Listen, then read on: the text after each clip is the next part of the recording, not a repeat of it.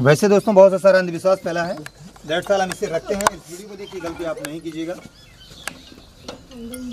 ये अभी बेबी हैं, फिर भी ये खतरा पहुँचा सकते हैं। इस वीडियो को देख के गलती आप नहीं कीजिएगा।